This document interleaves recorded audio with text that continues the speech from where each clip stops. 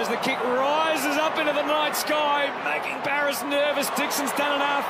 Can Wines do enough? He didn't want to rush. Sam Gray, big lunge Rioli. Successful disruption hits the ground.